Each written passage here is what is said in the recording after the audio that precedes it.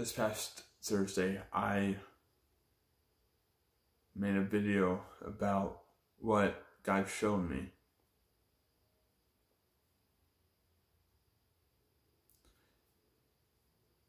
And I'm here to tell you exactly what I saw. You and I both know if you're watching the signs going on in the world, the prophecy taking place in the world. By the way, did you know that in the Bible it says the generation that sees these signs and these prophecies coming to pass will not perish before his return? So you and I will not, our generation will not perish before he comes back. A generation is anywhere from 40 to 100 years.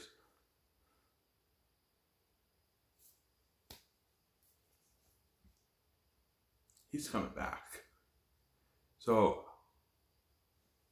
after what God has shown me, I am on a mission to tell the world about God, about Jesus, about that cross, about what it stands for. I'm on, I'm on a straight, laser focused mission to minister, to preach, to go forth, to take as many people with me in that rapture as I possibly as I possibly can, to help them avoid what, what what's coming, and directly after the tribulation, uh, directly after the rapture is the tribulation. Directly after that horrific rapture day comes more horrific events. The tribulation. That's a horrific seven year period. And here's the question I have Is it seven years in man's time or is it seven years in God's time? I think it's seven years in man's time. Because if it was seven years in God's time, it would be 700,000 years of tribulation. And I don't think it's that long. I don't think it's that long at all.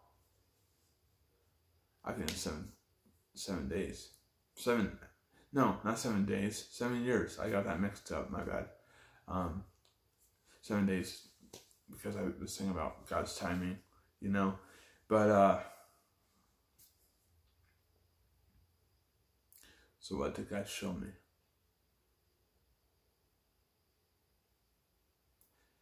I've often thought, because I used to play Gears of War, I never played Resident Evil. Don't worry about that. I never played that game I There's a lot of games out there that I would never play. Just never. Never. Um, but of course, going to friend's house, they've had Gears of War, and we of course play, right?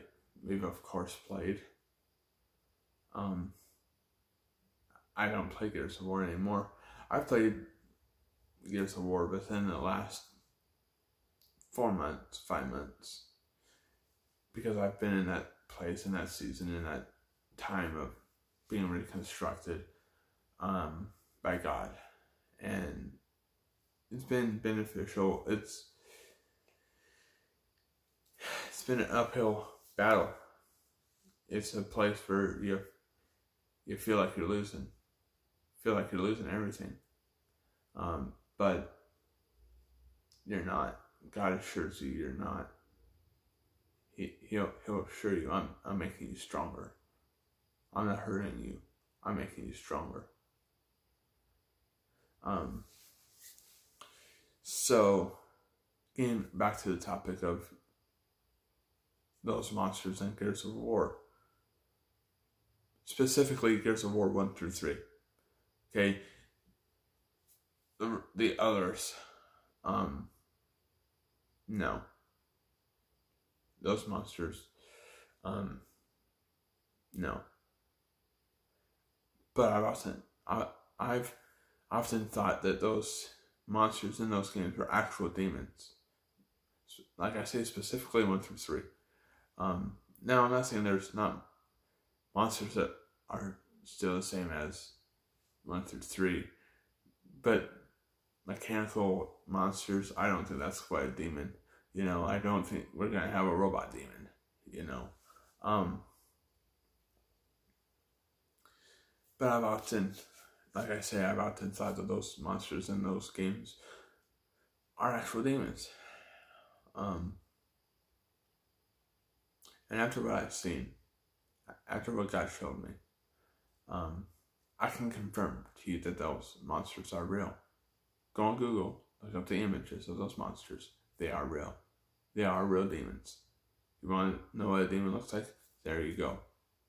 Why are they in our games if they're real demons? Because guess who's influencing these games? You don't think that he likes to trick people. You think you don't think he's a deceiver? Says it right in the word. Don't you believe what God says? Don't you believe what the Lord tells you? For if he lied once, he would not be God. If he did not speak the truth, he would not be God. So those demons in those games are very, they're actually quite amazingly pinpoint accurate. And there's one monster in, there's a monster in that, in Gears of War 3. Um, he's, he's actually one of the bosses in this game. He is an actual demon. I'm, I'm going to show you a picture right here. Yeah, scary, right? And that's a small model compared to compared to the size he will be. He is a tribulational uh, demon. He's actually one of the seven beasts, I believe. He's going to come out of a mountain. He's going to come out of a mountain. He, he's going to come out of hell and break through a mountain. He's the size of a dinosaur. Literally. Not figuratively. Literally the size of a, a dinosaur. And height. And he's brute. He's very, very, very brute. And he has powers. You read Revelation, these beasts will have powers. This man, this beast call him a man. This beast will have powers. This demon will have powers. He will have demonic powers. Um, and if you don't think that's an actual thing, uh, come on now, read your Bible. Read, read your Bible. Look more in depth. Don't just skim through the Bible. Look more in depth. Get the full fruit of the Bible. Get the full scoop of the, that Bible.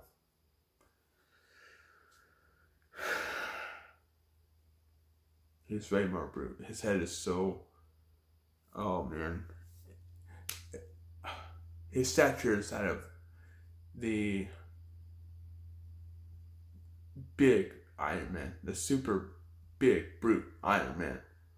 Um, that's a, you know what I mean. The Hulk, the Hulk Iron Man. I don't know what that's called because I didn't watch that movie. Um, I haven't watched a Marvel movie in probably five years, so my bad. Um, but I know about that Iron Man because I've heard of heard of it. I don't know the name of it, but if you want to know the stature of this beast, um, it's that stature, that head, that body, but that monster's look. Same, just about the same head, same body, same look. Um, you look at some of these monsters in these game, in that in these three games, they're horrifying, aren't they? Go on Google after this. Look at some of those monsters. You're gonna be horrified. Look up Gears of War monsters. You're gonna be horrified. I'm not talking about the mechanical ones. I'm not those are the mechanical parts. I'm not talking about those. Come on now. I'm talking about the ones that don't have mechanical parts. Don't don't have those kind of stupid things. Um, that's what the world is trying to go. That that's what we're headed towards is a world where everything's okay, within the within the church. Everything is acceptable. Come as you are. God doesn't discriminate. God will take you as you are. Everyone's getting into heaven. There's no hell. There's no there's no tribulation. There's no antichrist. That's where we're going. I assure you, that is where we're going. Um, there will be a tribulation. And I don't know how well of an explanation the Bible gives. And I'm not disparaging the name of the Bible, I'm not disparaging God's Word. What I'm saying, though, is that without His impartation, His His His revelation to you Honest stuff, I'm not sure you're gonna get the full scoop of it. I'm on one mission now. I'm on a laser focused mission. I don't want anyone to have to go through this. Not, the, not even the rapture day. I don't want people to have to go through the rapture day. I don't want people to have to go through the tribulation.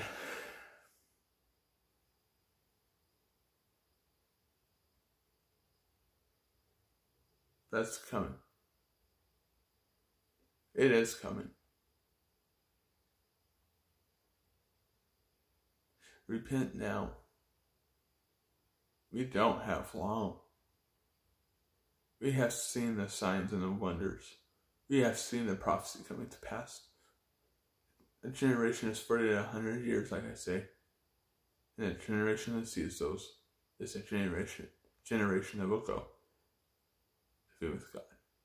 He will come back. That's not the second coming. That's the rapture. The second coming comes after the tribulation. Do more extensive research. Um, I believe the Antichrist is alive. I believe the Antichrist is alive today.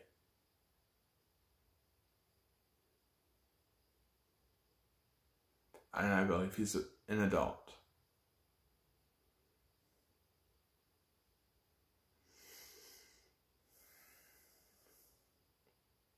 And I would say who I think it is. But that's very controversial. And a lot of people would be very, very mad that I said that.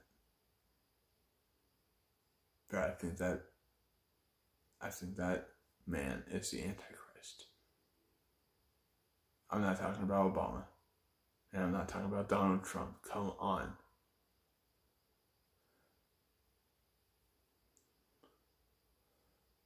I'm not talking about U.S. Pre- former U.S. president or or anyone within the United States.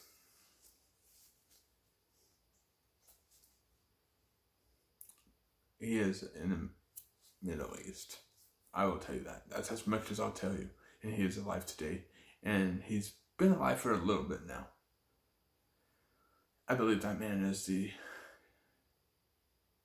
I believe he is the Antichrist. Um. Some people think it's someone else. I don't know how to pronounce that name, but people believe that's other people believe that's the Antichrist. I don't I don't think they're right. I don't think they're accurate with it. And in the description I'll I screw it. I'll let you guys know who I think it is. I think it is Pope Francis. I think that is the Antichrist.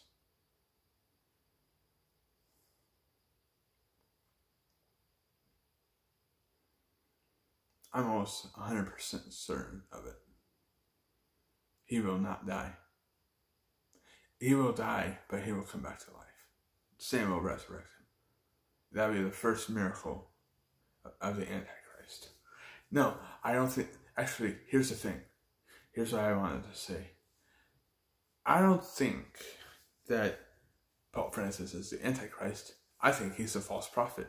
I think the Antichrist is going to raise Francis, Pope Francis, and I think that's how the Antichrist is going to fool people because they're to think, oh, well, he raised Pope Francis from the, from the dead.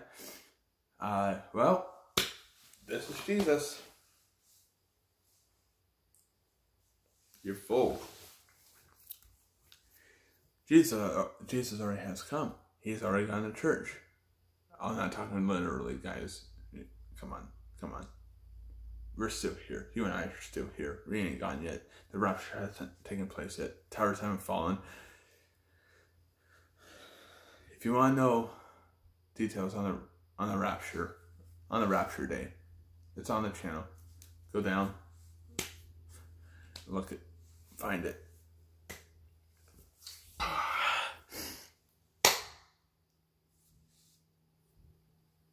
That's heck.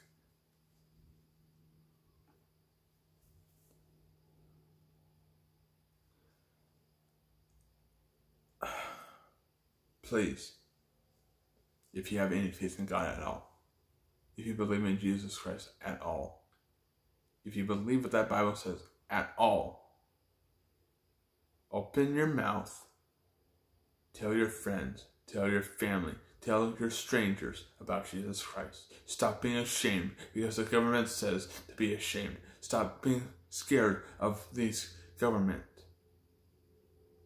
governments.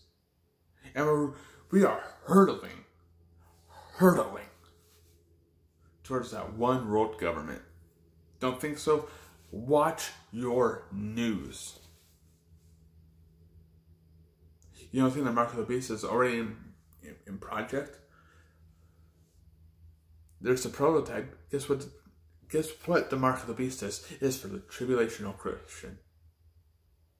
That's what the mark of the beast is. We are not going to receive it. You and I will not have to have, or will not be forced to put that in our hand. That's for the tribulation. That's for those martyrs. You either do this or you you don't. You either do this or we're going to kill you. You either deny Christ or we're going to kill you. And how are they going to kill you? They're going to behead you. They will behead you. And I'll tell you right now, it would be. And I'll tell you right now, I'd rather be beheaded than some of the other ways that I thought they might do it. I, I thought at one point that they might put hang us on hang hang those martyrs on the cross as a mocking of who they believe in, mocking them because they believe that Jesus Christ is Lord. Um, even though they believe the Antichrist is is is the real Christ. How stupid is that? How stupid? How stupid is that? But here's the thing I will plead with you. Don't hold him to yourself. Don't hoard him to yourself. Get out there and speak about him. If you have to go to a Goodwill, not not a Goodwill, if you have to go to a Family Dollar or or Dollar Tree, and you had to buy thirty Bibles for thirty dollars, even if even if it's not King James version, which most times it is, because that's the value most people think that Bible has. Um, do that.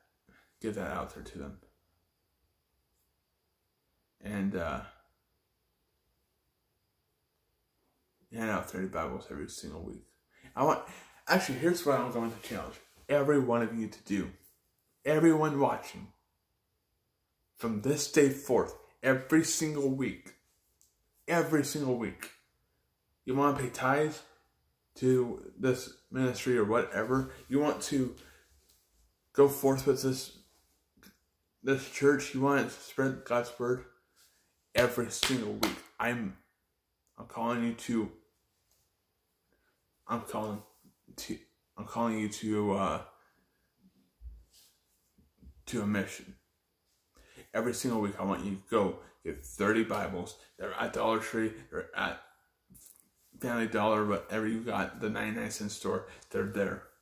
Buy 30 of them. By the end of every single week, I want you to hand all 30 of them out. Even if the person, even if the person you hand them to does not receive that Bible, even if they throw it to the ground, I want you to hand it to them. Just hand it, hand them that Bible. Tell them Jesus loves them. And walk away. That's all you gotta do. That's all I'm asking you to do. $30. $30. Any one of us, any one of us who work at a job, any one of us can come up with $30 every week. Every one of us can. I'm calling you to I'm calling you to action every single week from here on out. Go to your local dollar store buy 30 Bibles before the end of that week, every single week. Hand out all 30 and repeat it every single week. If you can't get 30 from a certain from one dollar store, go to another and then go to another until you have 30 Bibles. Or if not 30, at least 15 Well, accept. I'll do. I'll accept fifteen. God will accept fifteen. You're doing it. You're good. You're doing a good deed. You're doing a deed for the kingdom. At least fifteen. That's only fifteen dollars. That's literally half of what I was asking before. At least get 15 one dollar Bibles, and they're usually King James version, so that will be very beneficial to these people. Um, don't get them the message. Please don't get them the message. You will you'll do them a serious disservice. You'll you to defeat your purpose of what you're trying what we're trying to do as a as a church. And it might be might sound weird that I call this a church, but it is a church.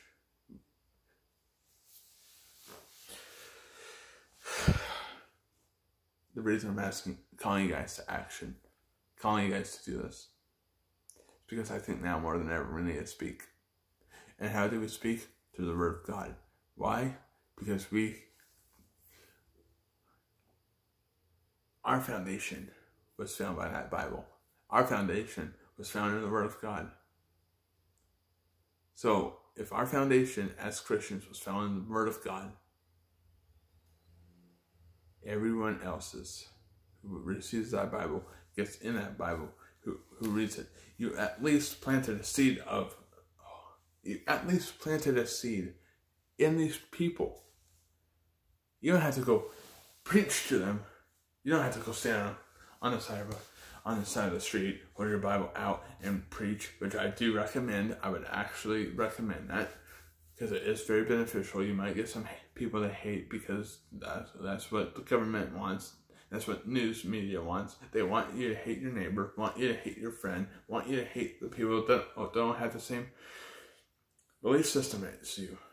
Um, but they somehow they want that, but they also speak hatred. They also speak hate your neighbor, hate your friend, hate your hate the person that has the opposing view as you. But everyone's equal. Everything every, everything is okay. Friendship, uh, community. You see how back and forth they are, how wishy washy that gets.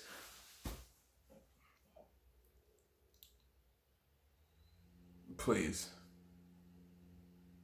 do me a favor, do yourself a favor, and do God a favor. You realize if you give out at least 15 of those Bibles every single week, you realize how much treasure you're gonna, how much rewards you're gonna build up in the kingdom. God rewards us for doing His work. He loves us to do His work. He calls us to action, just as I called you to action to do His work.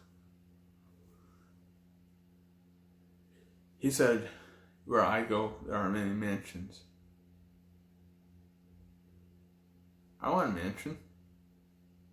Oh, I want to have a mansion with Jesus. I want to invite him in. We have a pure glass of wine together. pure glass of wine, non alcoholic. There won't be alcohol in heaven, but I do believe there might be wine.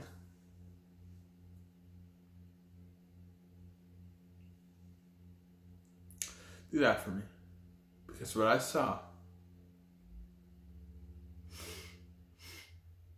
Mmm, what I saw. Help me. Help me. Help others. Please help me help others. Please don't allow them to have to go through that. Please help them not have to go through the tribulation. Be ministers. You don't have to do much. You don't have to do do much. I'm calling you to action. You say you believe in God, prove it. You say you believe in Jesus, you're the image of Jesus, but Jesus was a minister when he was here. He ministered to people. I'm asking you to do the same. You don't have to do much. All you gotta do is give them that seed. What's the seed? It's the Bible. They can either re- reject it or they can accept it. If they accept it, they might read that Bible. If they read that Bible, they might just get saved. And even if they reject that Bible, you still you still set forth yourself to do the work and the will of God. You still said, Lord, I believe in you as much as you believe in me.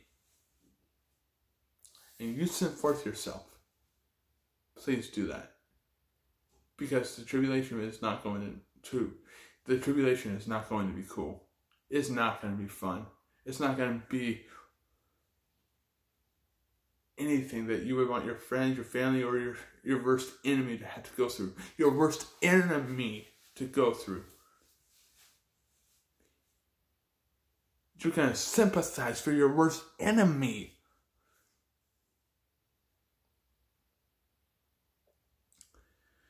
So why won't you fight for them now when we have the chance? And you know what? When I get to work, when I get my job, I'm going to do the same thing. They can either accept it or they don't have to. I'm at least going to hand out 15 Bibles every single week. Once I get to work, once I get a paycheck every single week, I'm going to hand out 15 Bibles every single week. Those people can either accept the Word of God or they can reject it. But considering you live in a Christian nation, Christian nation, I don't care where you live. Get out there and speak for God. So what if you're persecuted? God said you would be. He was he was persecuted. And he didn't give up. That's why they crucified him, because he claimed to be the Son of God. That's why they crucified him, because he claimed to be God. And to them, in their eyes, that was blasphemy. Even though he wasn't lying, even though he wasn't telling blas- being blasphemous, they still thought that was they thought what they thought. And they sent him to the cross. But here's the thing. Here, here's what I'm going to say. He would have died either way. He would have, he would have shed that blood. Either way. He was he came to die for our sins. He came to sacrifice himself for us. He is our lamb. He is our lion. He is our shield our sword, our strength, our, our healing. He's everything and more that you would ever want. Let people know.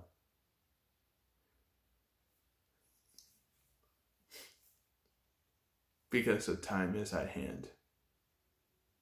And I say that with all seriousness. The time is at hand. And we're not a bunch of Mayans over here saying one thing, believing one thing, and then it doesn't happen. You couldn't even tell, you can't even say it with a straight face that this is all made up. Because everything we, be, everything we believe in is in that Bible. Everything that was prophesied all those years back. If it's fake, why is it happening today? Why is it literally happening today? Oh, they predicted the future. They were mediums.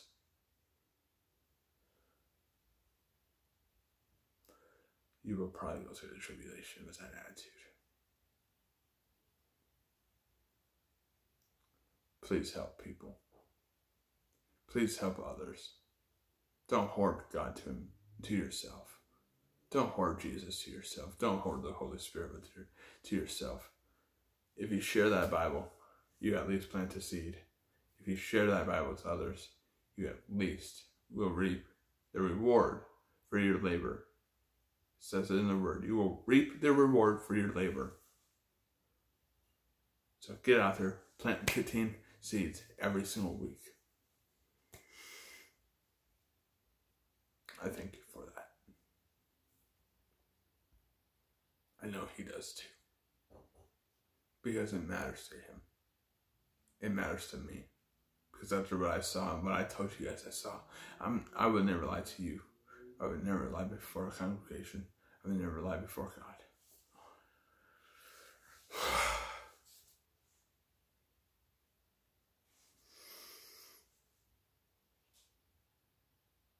the time is at hand. I thank you guys for going forth.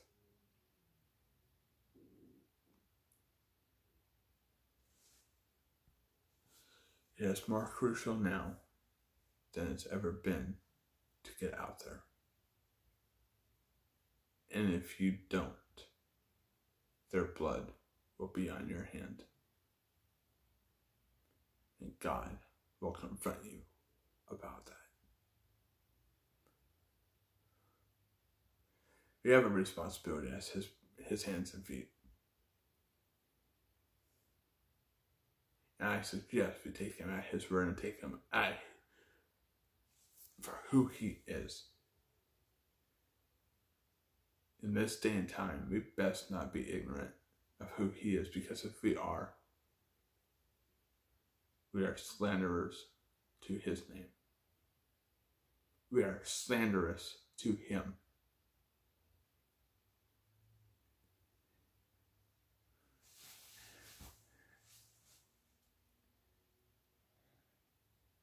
We are as the spirit of Antichrist. Please, with all sincerity in my heart, help your worst enemy. Help your friend. Help the stranger. Help your family. Help yourself. Anyone and everybody you can get to help them get out of here when they have the chance. Not, not talking about killing people. That, uh, that Bible, it's life. Jesus is life. Jesus is the Word. Jesus is life. In the beginning was the Word. The Word was with God. The Word was God. In the beginning was Jesus. Jesus, and Jesus was with God, and Jesus is God. See you guys next week. I hope this reaches you. And I hope you start to speak on God's behalf. Because neither you or I have the choice to sit down and shut up anymore. We cannot allow government suppression to keep the Christian church down. We cannot allow our governments to shut God up because when that happens, this road is